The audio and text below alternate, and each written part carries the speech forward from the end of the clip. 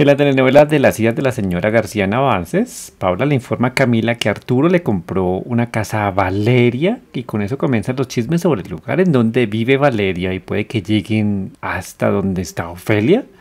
Entonces Arturo quiere que Valeria sienta cómo su corazón se acelera por ella, para que Valeria le crea en serio que él sí está interesado en ella y sí se ha esforzado por ella, pero Valeria de alguna forma no le cree. Finalmente Susana le pide a Ofelia que retire los cargos contra Juan y ella se callaría sobre los delitos de Ofelia contra Gloria. Pero nadie manda sobre Ofelia y se supone que ella rechazaría cualquier propuesta. Además porque sería como ordenarle a ella hacer algo malo. O podría Ofelia obedecer a Susana. Déjenme el comentario y nos vemos en el próximo video.